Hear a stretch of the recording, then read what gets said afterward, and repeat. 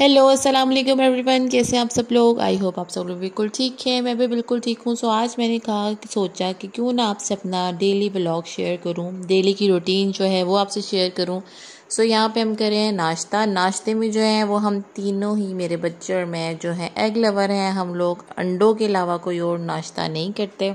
यहाँ पे मैंने बनाया है एग फ्राइड और सागुदाना है साथ। छोटी को मैं अपने खिलाती हूँ अपने साथ।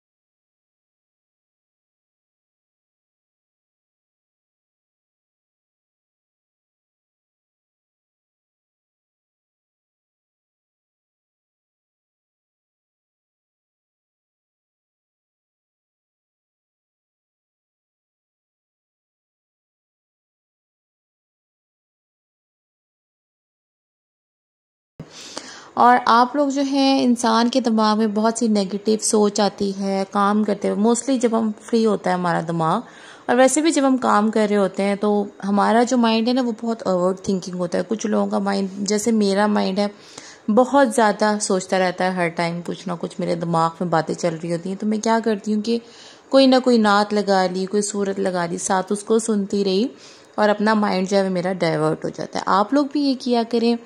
और साथ ही मैं अब यहाँ पे इसको पढ़ा रही हूँ। मैं आपसे रूटीन शेयर कर रही हूँ मतलब पूरे दिन माओ की जो लाइफ है ना, वो काम काम काम बेशक आप मेड रख लो, कुछ भी रख लो लेकिन बच्चों के साथ जो है ना, वो लाइफ जो है वो बहुत बिज़ी गुजरती है। माशाल्लाह से अब यहाँ पे जा रहे हैं सपारा पढ़ने। अपना कुरान कुरान का टाइम हो गया इनका, और मैंने कहा, चलो ये अब जा रहे हैं तो साथ ही मैं ग्रॉसरी के लिए निकल जाऊँ। क्योंकि एक अकेली मॉम के लिए ना बहुत मुश्किल होता है। सब कुछ घर को मैनेज करना बाहर भी देखना है तो मेरे लिए बहुत मुश्किल होता है मैनेज करना।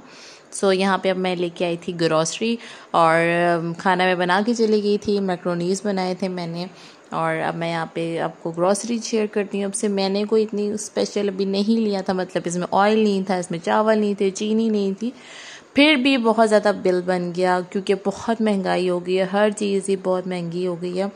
तो बस अल्लाह भला करे, अल्लाह जो है वो सब के लिए आसानी का मामला करे और स्पेशली जो गरीब लोग हैं, हर लिहाज से हर जगह गरीब बंदा ही पिसता है।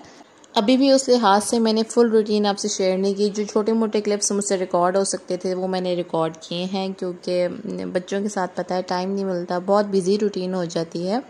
सो so, um, अब यहाँ पे मैं बच्चों के लिए जो था ये वो मसाला लगा के रख दिया था। मैंने लेग पीस को अक्सर फ्रिज में रख देती हूँ।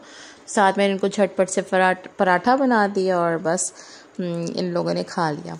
मिलती हूँ अपने वीडियो में। अपना रखिएगा। ढेर सारा